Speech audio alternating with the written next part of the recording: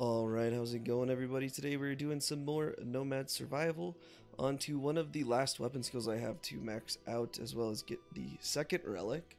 And uh, I'm interested to see how this one goes because I don't think it's going to matter that much. Um, it's going to be Entangle. Um, and we're going to be maxing that out and getting the second relic. I know with the first relic, it'll create this little AoE circle that deals some DPS, but I don't think it's that impactful, so we'll, uh, we'll go Cultist and Nomad as always. Um, I'm looking forward to see if the second relic is, you know, impactful at all. I just finished doing the Immaterial Cloak video, and suffice it to say, I was extremely underwhelmed. Um, that was awful, to say the least. Um, yeah, it was not good at all. The ability just did not really have that big of an impact on the game. And the relic didn't help at all either. Um, so I'm hoping to see that the second relic for Entangle actually has some type of impact because if it doesn't, I'm going to be very sad. Um, for this one, going to go increased weapon skill size as always. That's good for both Cultist and the Entangle first relic. Um, I'm not sure if Entangle ever gets to a point where it hits multiple enemies, but that would be pretty cool. So we'll, we'll see how it goes. Nothing can be worse than what I just did, so I have a optimistic outlook. Granted, I'm not seeing the skill at all, so that's always a red flag.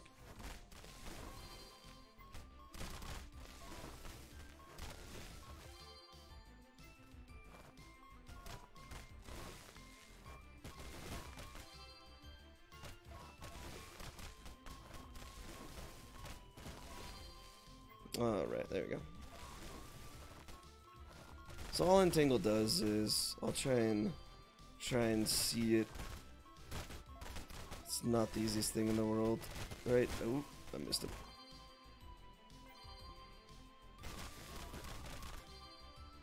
Basically, you're just looking for these green vines coming out of the ground and holding an enemy in the same spot. At level 1, see right there, oh, it died. Everything's dying too quickly a little bit. But yeah, so right right next to me, it'll be right like here on my screen. You'll see an enemy that's being held by these green vines, like right there. And that is what it does. It just kind of holds them there. I don't believe it has any impact on bosses, but it can hit anything else.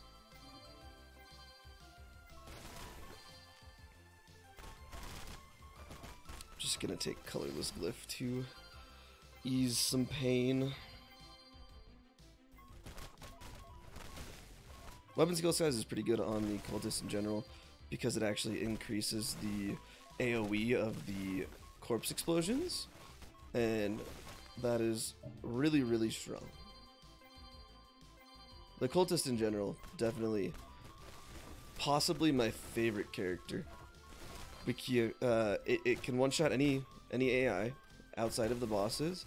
But the, the real big deal is that it can one-shot the, on Dry Marsh, the crystallized chests, and on this map, the portals. They're technically AI, and it's able to target them. And that saves you a ton of time when maybe you're getting surrounded by AI, or you're just honestly not trying to spend that much time. I enjoyed on this map because it saves me Saves me time running back and forth in between the middle and the end of the roads, unless you're fortunate enough to have the portal spawn in the middle. But I believe you need to be away from the middle for it to spawn in the middle, and most of the times I am just standing in the middle, so odds are normally ends at the end of the street. Granted, you can be like standing here, just a little bit outside of the middle, and have it spawn in the middle. I just am generally moving so much through it that that's not the case for me.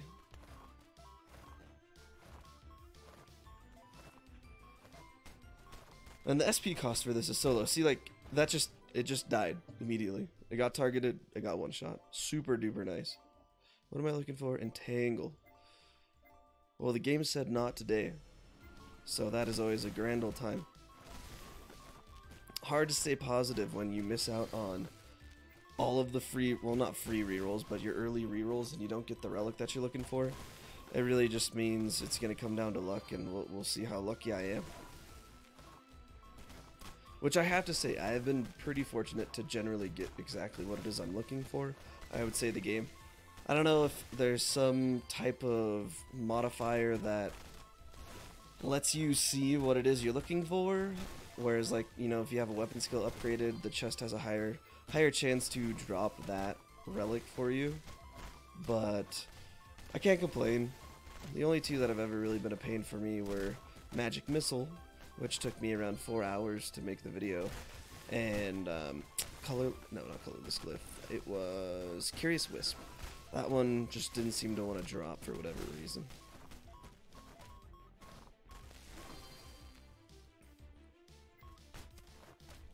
My single target's a little doo-doo, so this boss fight is not going to be the best thing in the world. and the fact that your ability doesn't target him, you, you don't do a lot of damage.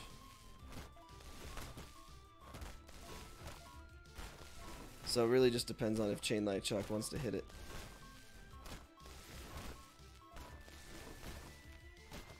Luckily, it's not really fast or anything like that, so not something you really worry too much about.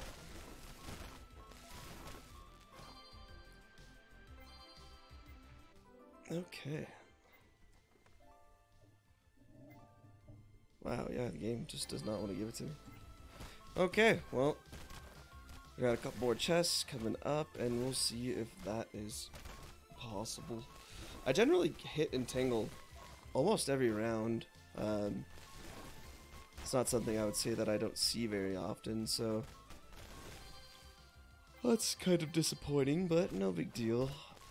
I've never actually maxed the ability out in general, so I'm not sure what it does at level 10 also, so that'll be interesting to see.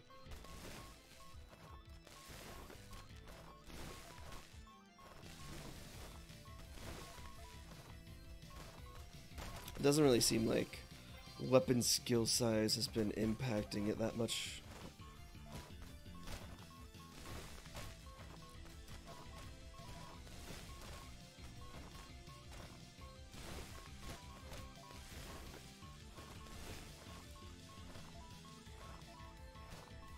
Alright, let's see how this goes.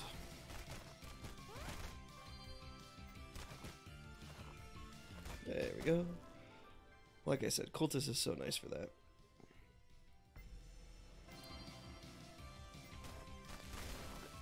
I'm not getting any bonus rolls either. So that's kind of sad. So we have, let's see, the boss chests at 14 and 21, and the portal chests at 15, 20, and 25. So we got five more chances to hit it. I'm optimistic.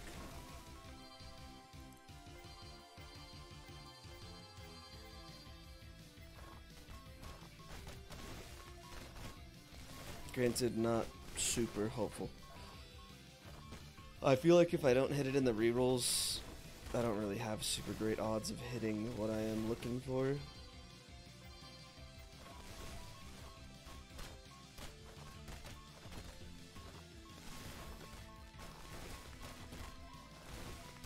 Cultist's ability is so strong. You could honestly use just that and one other ability. So take something that's good at single target so that you can kill the bosses and you could just use the cultist weapon ability to clear the mobs.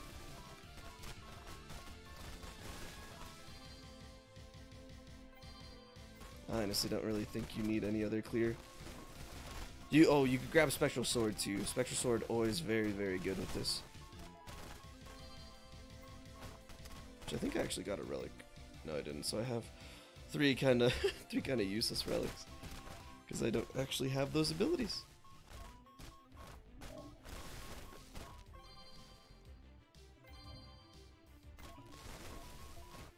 Yeah, with spectral with spectral sword, Cultist is just very strong.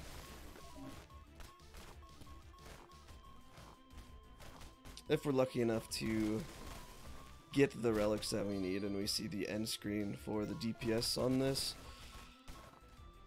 You'll see your weapon damage all the way up there. One of the few characters that actually will have a very high weapon skill damage.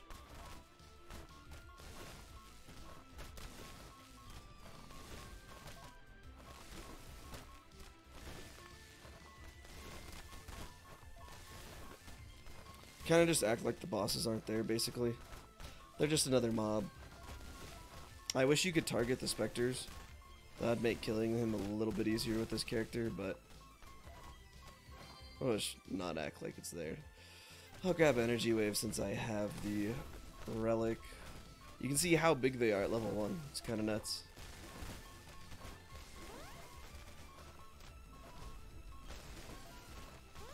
And I don't have to worry too much about movement. It clears very, very well in front of you.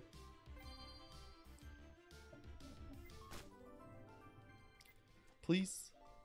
Oof. Nice. Okay, we got one. That's good.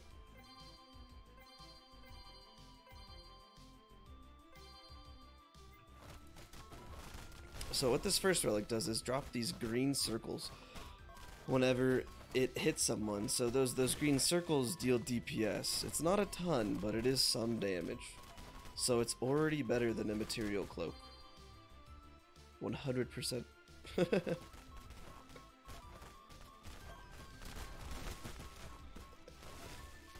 it's summoning a lot too. Um, that's not something you could really pay too much attention to while there's not a ton of mob spawning, but uh, looks like it hits for around a hundred, which is not bad.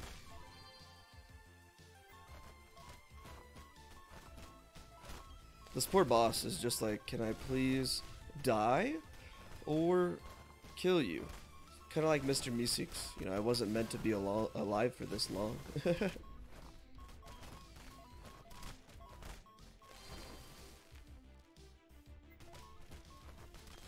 skill size does impact how large these circles are, though. So that's another reason why skill size is pretty good here. The only unfortunate thing is they don't really last for that long. But they would probably be a little bit too strong if they did. Just because it looks like, you know, you're summoning about like 10 of them at a time, so that would be a lot of just kind of free damage.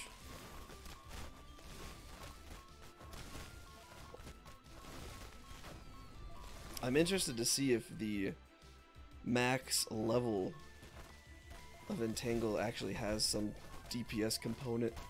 Because I'm not sure if you guys just saw, that level right there actually had a plus 2 base damage to it.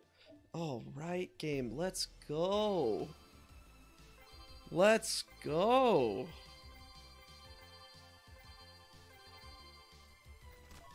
Alright, let's check out the second relic. 10% chance to instantly kill when first entangled. That is pretty good. And a 10% chance is up there.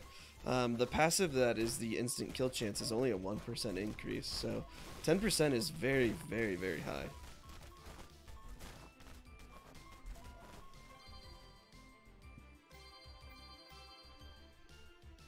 The game, however, is not wanting to give me Entangle.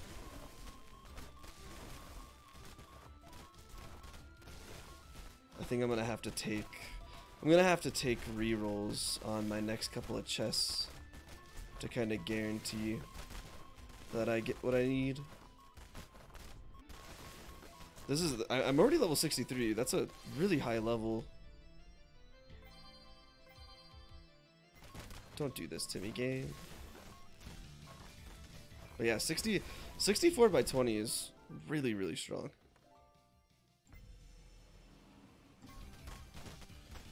It's like I could also take the level and see if taking those extra levels gives me, you know, a better chance, but 10 rerolls versus one level, which is going to be two rerolls, I'd rather take the 10, because I'm not having issues leveling up right now.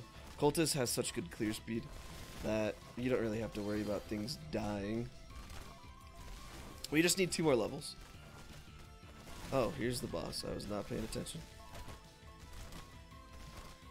This is going to be an annoying boss. To say the least, without, you know, good single target damage.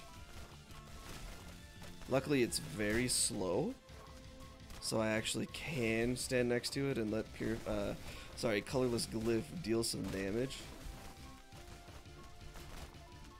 Also, these laser beams do have ends. You can run to the end of them and just walk around it. This poor guy. It's like, you get so close, but just not close enough.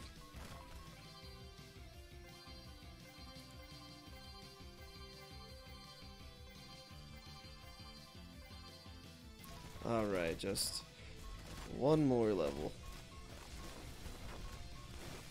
Alright, nice, nice, nice. Um, both of those kind of not relevant. I'll take the rerolls again. Hopefully to theoretically guarantee that I will hit max entangle. In situations like this, I just wish more mobs spawn.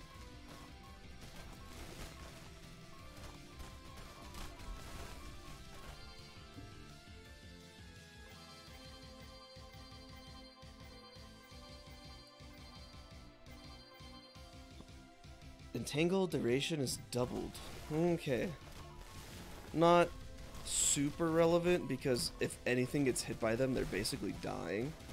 But pretty good. Basically guarantees that it's gonna get hit by the circle. So not the worst thing in the world, not the best thing in the world. We'll see what the oh my god. SP regen with the cultist is so good. Your screen just turns into a red mess.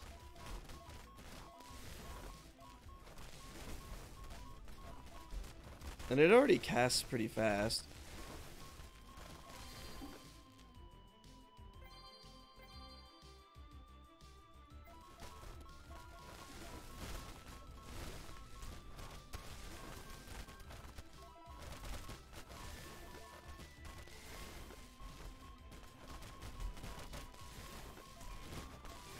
Oh, nice. It spawned right in the middle. Very kind of you. Well, I'm getting really unfortunate that I'm not targeting it. Looks like Entangle can't hit the portals. Yeah, nice. So I'm assuming this last one just does base damage. Oh, duration plus one. Interesting. So the Entangle lasts for even longer.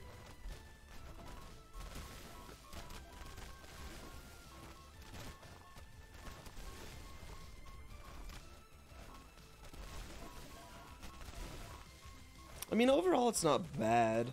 I am interested to see what the DPS is going to look like at the end of the game. Um, Cultist doesn't really give a lot of other abilities a chance, honestly, to hit enemies. Because, uh, I mean, it's one-shotting everything, and then you throw in Spectral Sword. So Spectral Sword will have pretty good DPS, but everything else not so much. Chain Light Shock has a chance. I mean, it does very high DPS in general, but we'll see.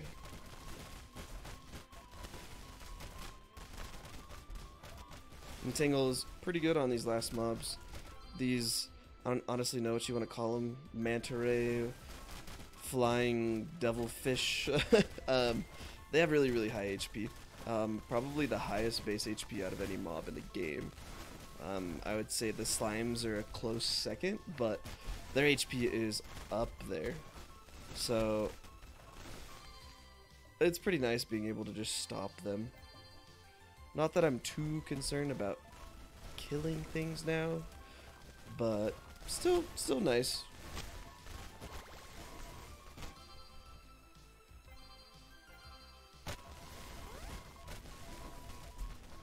If I would have been grabbing the levels um, on the chest outs uh, outside of doing the um, what would you like to call it? The rerolls, the plus 10 rerolls. Um, definitely would hit level 77 on this run. Um, I think the cultist is the best class to go when you're trying to hit level 77 for the achievement. Um, it just has the highest clear speed, without a doubt. Uh, you can worry less about how quickly you're clearing the mobs when you're playing the cultist. I mean, if I really wanted to, I could run away from the boss and just clear things very slowly. But things spawn so slowly when the boss is around that it's just not worth it. I, I saw this guide where it wanted you to play Dry Marsh for the level 77 challenge, and it's it's not it's not that hard to do. So I would just oh I died. Uh, these red orbs, I just never pay attention to them. But I, I wouldn't worry too much about doing level 77 on Dry Marsh. It would have you run around to each corner whenever the boss spawns, and that's just such a large waste of time. I mean, it'd take you like an hour. So just play Crossroads, play Cultist, very simple. Uh, like I thought, my weapon skill is the highest DPS. That was very, very strong. Entangle, not not very good. Um, I I feel like this kind of has the same issues that immaterial cloak has. Um, I would say it's more helpful than immaterial cloak because immaterial cloak has the AI run away, and when you have it maxed out, all of the bonuses, so your relics and the level 10 bonus for immaterial cloak, increases the damage, uh, your crit damage, and movement speed whenever it's active. But when it's active, all of the AI runs away from you at a very high speed at the max level. And this makes it to where you're not really hitting anything anyways, so all of those bonus like the bonuses that apply, not very relevant. Uh, Entangle at least keeps the things in one spot. It's not like it's pushing them away or anything like that. Its damage is okay, uh, not not very you know great, but definitely better than Immaterial Cloak. I would still only give the build like a four or ten though. Um, it's just not good uh, doesn't really do anything for you. Kinda same thing as the immaterial cloak. Very rarely do you need to worry about actually dying, especially from just the normal mobs. Um, you you kind of have to be going out of your way to put yourself in a bad position to die to those guys. So this having it you know hold AI in one spot I just don't think it's really that important because it's not really. If it was hitting like hundreds of enemies at the same time, that'd be one thing, but it's only hitting like 10. And if there's maybe like 50 things spawning at the same time, that's not really going to have a big impact. So yeah, definitely going to give the build a 4 of 10. If you guys have any questions or any ideas on what builds you would like me to go, let me know below as always. And I hope you guys have a great rest of your day, and I'll see you on the next one.